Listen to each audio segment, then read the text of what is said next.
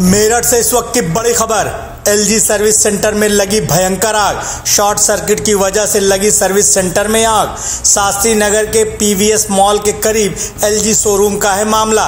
मेरठ से इस वक्त की बड़ी खबर सामने जहाँ पर शास्त्री नगर के करीब मौजूद पीवीएस मॉल में एलजी शोरूम के सर्विस सेंटर में शॉर्ट सर्किट की वजह से भीषण आग लग गई। आपको बता दें कि आग लगते ही चारों तरफ़ अफरा तफरी का माहौल हो गया और इस घटना में सर्विस सेंटर में रखा हुआ लाखों रुपए का माल जलकर राख हो गया। आपको बता दें कि सूचना पर पहुँची फायर ब्रिगेड की टीम ने बड़ी मुश्किल से आग पर काबू पाया।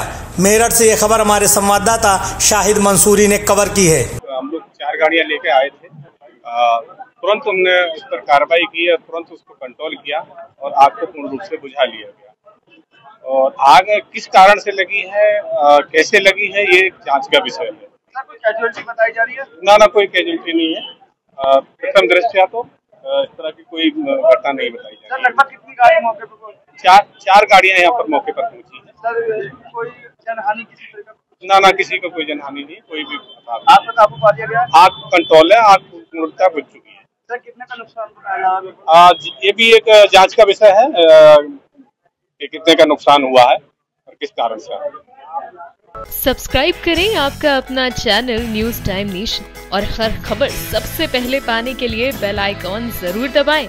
और हाँ खबरें पसंद आ जाएँ तो लाइक और शेयर करना ना भूलें।